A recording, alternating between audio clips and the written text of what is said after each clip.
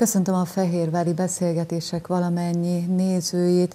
Február 25-e a kommunizmus áldozatainak emléknapja. Rengeteg embert érintett, rengetegen váltak a rendszer áldozatává. Stúdiónk vendége Kálai Mária, köszönöm, hogy elfogadta a meghívásunkat, akivel talán mondhatjuk azt, hogy egy rendhagyó történelem órára is kalauzoljuk itt a Fehérvári Beszélgetések nézőit. Köszönöm szépen én is, és üdvözlök mindenkit. Hát amiről szeretnénk beszélni, az körülbelül 70 évvel ezelőtt volt, ami velem történt, és én 50 évvel, körülbelül 50 évig nem beszéltem róla egy árva szót se. Miért Csak nem beszélt róla? Gyerekeimnek. Azért, mert az az, az az időszak volt, amikor nem lehetett. Ez, ez el kellett felejteni. Nagyon sok barátom, kollégám, rengeteg tanítvány, akivel sokat beszélgettem, de erről soha nem. Sokszor eszembe jutott egy-egy időpont kapcsán, hogy osztályfőnöki órán meg lehetne említeni, de biztos, hogy nem, nem, nem lett volna jó. Ugye, ha Kálai névre gondolunk, akkor ismerősen cseng már csak a történelemkönyvekből is ez a név. Az önök családját tulajdonképpen emiatt hurcolták meg. Igen. Sajnos én nem jókor születtem. Ugye a világháború kellős közepén, a szocializmus előtt pár évvel egy kálai családba születni, az, az nagyon-nagyon rossz volt. A, a nagykálói családnak vagyunk a tagjai, de édesapám az csak egy tanár volt, földmérőségben minisztériumban dolgozott, ő neki már egy talpalatnyi földje, egy vagyona nem volt, tehát ő saját magába, el, annál is inkább, hogy az első világháborúban apja, anyja, testvére oda lett, úgyhogy négy gyerekkel maradt itt a család árván. A nagyapa nevelte fel őket. Úgyhogy ez sajnos engem a Kálai névér nagyon büntettek. És az egyik ilyen dolog volt az, amikor 51-be kitelepítettek bennünket. Mit kell tudni a kitelepítésről? Kopogtattak, megjelentek, csengettek, vagy hogy volt? Ugye nagyon sokszor halljuk a csengőfrászt, hát a kiszámíthatatlanságot. Én, igen, én ezt, ezt meg is akartam említeni, mert én kisgyerek volt, 11 éves voltam. Tehát amikor éjszaka anyám még sokszor fölkeltek, hallottuk, mert ugye Ugocsa utcában Budapesten laktunk, egy második emeleten, de akkoriban nem igen volt forgalom. Ha volt forgalom, akkor a fekete autó jött. És akkor éjjel hozták a, a papírt, a kitelepítési papírt. Nekünk indokunk is volt, Hortista miniszterelnök rokona. Ez, ez volt szerepelt az, a papíron? Ez volt az indoklás. Ez volt. És akkor 24 órát adtak arra, hogy összepakoljon valaki, illetve hát a család, kiürítsék a lakást, mert a lakás az, az, azt elvették, természetesen azonnal állami kézbe került a lakás, és fejenként 25 kilót lehetett személyes holmit hozni. Hát most mi, akkor ez nyáron történt, mi lent voltunk akaratján a édesanyámmal és a testvéremmel, úgyhogy szegény édesapám egyedül kapta, ugye akkor a hírt éjjel, és hát akkor nem volt telefon, táviratozott akaratjára. A, a posta, postás mester az személyesen hozta ki, mert tudta, hogy mit jelent az, hogy holnap taktaszadára kell utaznom. Tehát nem, nem lehetett azt se leírni, hogy kitelepítettek. És édesanyám rögtön az első vonat, hát akkoriban naponta két vonat volt, vonattal följött, és akkor már a lepecsételt üres lakást találta. Be se tudott már menni Be akkor? Tudott, le volt pecsételve, apám meg fogalma se volt róla, hogy hol. Sokan mondták, hogy ne menjünk utána, akkor megússzuk, vagy de nem akartuk édesapákat egyedül hagyni, meg a családot szétszakítani, meg, meg mi lett volna velünk. Anyám ugye nem volt kereső, abban az időben háztartásbeli voltak a, a anyák. És akkor utána mentünk pár nap múlva vonattal. Hát ez a falu, ahova minket Taktaszada, kitelepítettek, ugye? Taktaszada, az Miskolc és Szerencs között van egy nagyon szegény, tényleg egy eléggé elmaradott szegény falu volt, gazdálkodásból éltek az emberek, de olyan szép környék volt, például gyönyörűen látszott a jó időben a, a Tokai hegy. Azt, azt én annyira szerettem nézni. Közel volt a Tisza is, úgyhogy oda is elellógtunk, ha bár a faluból nem volt szabad kimenni. Tehát az szigorúan nem volt szabad kimenni. Most tíz családot telepítettek ide ki, mégpedig a kulákokhoz. Ugye a kulákoknak az volt a büntetésük, hogy a népnyúzókat be kellett fogadniuk. A tíz családból majd háromról akarok beszélgetni egy kicsikét többet, mert a többiek azok inkább ilyen idősek vagy egyedülállók, de mondjam, hogy hozzánk képes jó módúak voltak, szóval el tudtak, a vagyonukat, fel, idősek voltak, volt vagyonuk, vagy, vagy szóval el tudtak lenni jobban, de hát bizony ez a három család, ez, ez itt voltak csak gyerekek. Ennek elég, elég nehéz helyzete volt. De izgalmas volt ez a három család, hogy kik is voltak ők, ugye? Igen. Hát a, a egyik család, a, a August cukrász, az August elemér, cukrász három kisgyerekkel. A, a legkisebbik a Józsi, aki most vezeti a, a Pesti egyik cukrászdájukat, szoktunk is vele találkozni, meg beszélgetni, az, az hat hónapos volt. Akkor ők voltak itt, a másik család, ahol fiatalem volt, az a, az a Szuhai család, akinek a fia a későbbi színész Szuha Balázs volt, az volt 16 éves. És akkor mi voltunk ott, én 11, a bátyám 15. Ugye valami senkinek nem volt jövedelme. Tehát el, el kellett menni ebből a családból mindenkinek dolgozni ott a faluban. Mondjuk munka volt, mert hát a mezőgazdaságiban mindig van munka. Hát apám ugye, mint gazdasági tanár, kaszálni tudott, a bátyám tudott markot szedni, úgyhogy elmentek első nyáron. Végig, nyár, vagy végig a nyáron arattak. Az borzasztó nehéz munka volt, pláne egy 15 éves fiúnak. Hát gyereknek, ugye? Igen, ja, igen. Aztán hát később mindenféle, mindenféle munkát, ugye kukoricatörés, ami volt. Nem, én, én nem is tudom, hogy, hogy anyám még hogy teremtették elő a, a mindennapi kenyeret, de hát megvolt. Ez gyakorlatilag úgy volt, hogy akiket mondjuk ö, megjött a papír, és ide és ide kellett nekik menni, akkor onnantól kezdve nem gondoskodás nem volt. E, levette róla mindenki a kezét arról a családról, oda helyezték a kulákok idézőjelben nyakára igen, büntetésként, igen, és akkor onnantól igen, kezdve igen. találja fel magát mindenki? Igen, igen, igen. Hát a falut se volt szabad elhagynunk. Úgyhogy csak, csak kizárólagosan az ott a benti, a, amit lehetett, lehetőséget találtak munkát. Később a bátyám meg a Balázs azok valami ö, szivattyú telepen dolgozhattak. Az mondjuk az könnyebb volt, mint a mezőgazdaság. Később azért alakult egy kicsikét az életünk. Na most azok a kulákok, akikhez mi voltunk betelepítve, azok voltak a legszegény, nagyon szegények voltak. Egy picike, igazi parasztházba eléggé rossz állapotú parasztházba laktak.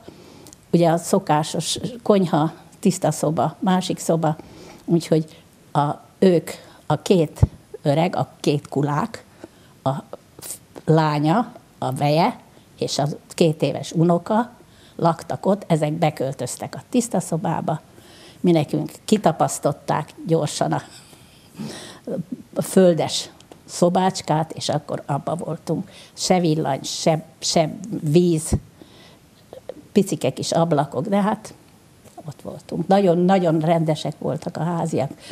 Nem csak ők, hanem az egész faluba mindenki jól szerették a kitelepített, szóval nem bántottak bennünket. Tehát elfogadták? El, elfogadták, és látták, és, és ahol tudtak, segítettek.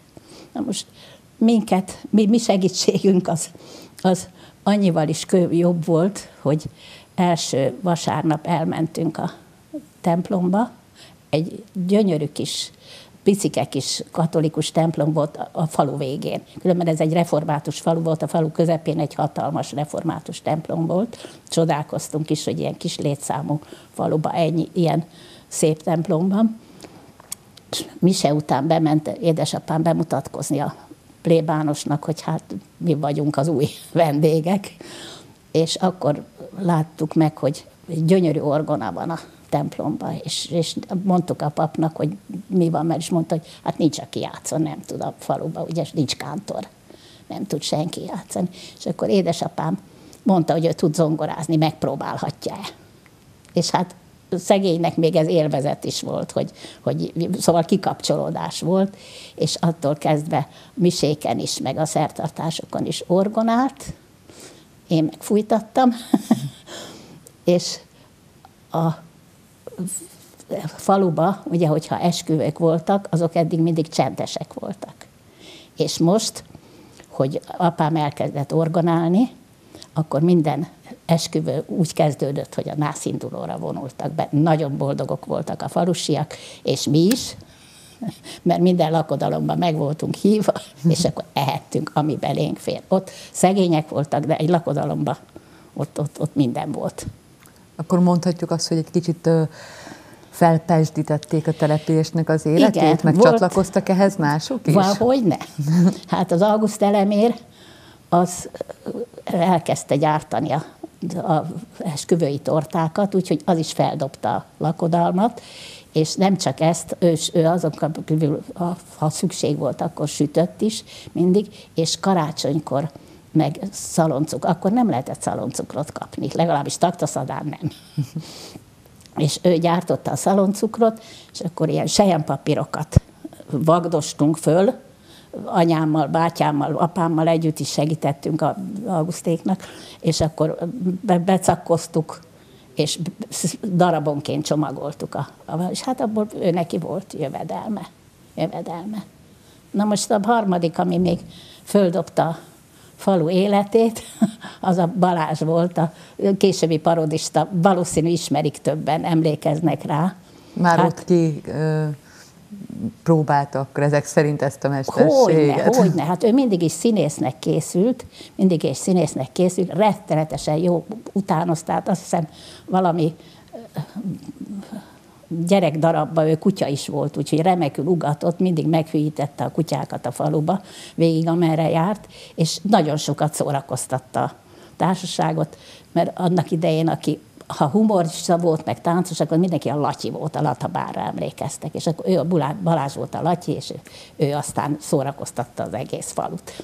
Nagyon szerettek bennünket, és minket annyiból is, hogy, hogy ugye mindig ha valami volt, valami ünnep volt, vagy csak valami jutott minden családhoz, akkor hoztak egy kis, kis ajándékot a kántor úrnak. Akár két tojást, akár lisztet, vagy, vagy szóval ilyesmit, úgyhogy az, az nagyon jó volt. Aztán édesapám, mint mezőgazdás, sokszor adott tanácsokat az embereknek, és a következő évben megfogadták őt csősznek. Tehát ő került a határba reggeltől estig, és akkor mondta, hogy mit kell csinálni, és hát ez egy biztos megélhetési forma volt, mert hát ugye fizettek, igaz, hogy csak ősszel terménybe. Tehát a, a terménybe fizettek. És akkor ön mondjuk 11 évesen hogy tudott hozzájárulni a családnak a megélhetéséhez? Hát, biztos volt feladat. Is, volt feladatom is, meg hát én iskolába jártam. Egyedül én voltam, aki hát ugye a szegény két fiú, azok ott álltak a nyolc általánossal, de hát nem lehetett tovább tanulni, mert nem lehetett kimenni. Én voltam, aki iskolába jártam. Hát jó, messze volt az iskola, meg aztán a utóbbi tanulmányaiban ki is derült, hogy én nem sokat tanultam a nyolc év alatt, de mindig jó bizonyítványom volt. Észre se vett. Akkoriban nem volt divat, hogy a szülő foglalkozott a gyereke. Hozta jó bizit, azt hitték, hogy minden rendben van. Érdekes volt az első november 7-i ünnepé, amiről bőgve mentem haza, de a szüleim tudták, hogy mi bajom van, kérdezték, aztán nem tudták, hogy, hogy sírjanak vagy nevessek, nevessenek, mikor mondtam, hogy azért sírok, mert nem lehetett nyakkendőm, mert én, én osztályidegen vagyok. Tehát már gyerekkorban is azért igen, ezt érzékeltették igen, az emberrel. Benne volt, benne volt. Hát, aztán hát ugye valamiből élni kellett, volt állatokat tartottunk, a háziak nagyon rendesek voltak, mert adtak helyet, adtak, hogy, hogy, hogy építettünk egy kis disznólat, meg mi szóval állataink voltak, azokat tartottuk. És hát ott is nekem volt feladatom, mert ugye ha amikor learattak, aratás után már szabad volt a földön maradt dolgok, a törés után is, az ott maradt dolgok az, az azért volt, aki összeszedte, hogy ne menjen pocsékba. És hát apám tudta, hogy melyik földön arattak, és akkor biciklivel jártak körbe a falut, illetve a falu környékén, és akkor fölültetett a biciklire, reggel kivitt oda arra a földterületre, ahol már learadtak, és én bizony napestig, estig, amíg édesapám én nem jött, ott szedegettem a kalászokat, és meg volt a csirkéknek a következő őszre a termény. Mennyi ideig tartott ez az időszak? Mennyi időt kellett ott tölteni? Majdnem három, két és fél évet két és fél évet voltunk. Hát volt az a nevezetes Nagy Imre beszéd, amikor hát a beszolgáltatásokat is megszüntették, meg a, a kitelepítetteket is, meg valami internáltakat is felmentettek. Tehát az, az, azért is nagyon nehéz időszak volt az ott a falun, mert mindent elvittek. Tehát az szegény öreg néni, akiknél mi raktunk, a Molnár néni úgy volt, az például megtörtént, hogy a gazdag kulák, a én bátyámtól, aki a baromfit tenyésztett, ahhoz ment kérni, hogy Béluskám, adjál már egy csirké, tyúkot a betfolgáltatásba, mert baj lesz, ha el fogják vinni őket, ha nem tud vinni. Tehát mindent elvittek tőlük. Hát ez, és akkor, akkor, amikor ez a három év lement, ugye, illetve majdnem három, még két és fél év, akkor szabadultunk. A, apám már bátyámat elküldte iskolába, mert ő neki, hát ugye a szak, mezőgazdasági szakiskolákat felügyelte ő annak idején. Úgyhogy a Keszthelyi mezőgazdasági technikumnak az igazgatója nagyon jó barátja volt. És akkor hát Sutyiba oda tették a bátyámat, úgyhogy ő, ő, ő elutazott, úgyhogy nem, nem volt még papírunk. Apám meg akkor se tudott eljönni, mikor már papírunk volt, mert akkor meg még nem jött be a termény, és hát ő neki meg kellett várni. Három napig utazott egy vagomba, míg elhozta a terményt, a disznót, a nem tudom én mit, tél volt pedig már szegény, egy kis kájhával ott utazott három napon keresztül. Na mi akkor Balaton akaratjára Tehát akaratjára kerültünk. tudtak menni, nem pedig nyilván Pestre? Na, Pestről ki voltunk tiltva. Tehát ott, ott nem lehetett akkor Pesten be, be, be se lehetett volna menni jóformán, de szóval nem, el, azt hiszem ellenőrizték is rendesen, mert hát szóval sokan nem, nem tudtak visszamenni. Hát a lakásunk nem is volt, hát az, az, az már más. De, és hát akaratján volt egy nagyon pici kis nyaralónk. Hála Istennek, hogy ilyen pici volt, annyiból pici, hogy csak a háború miatt csak egyetlen szoba épült fel.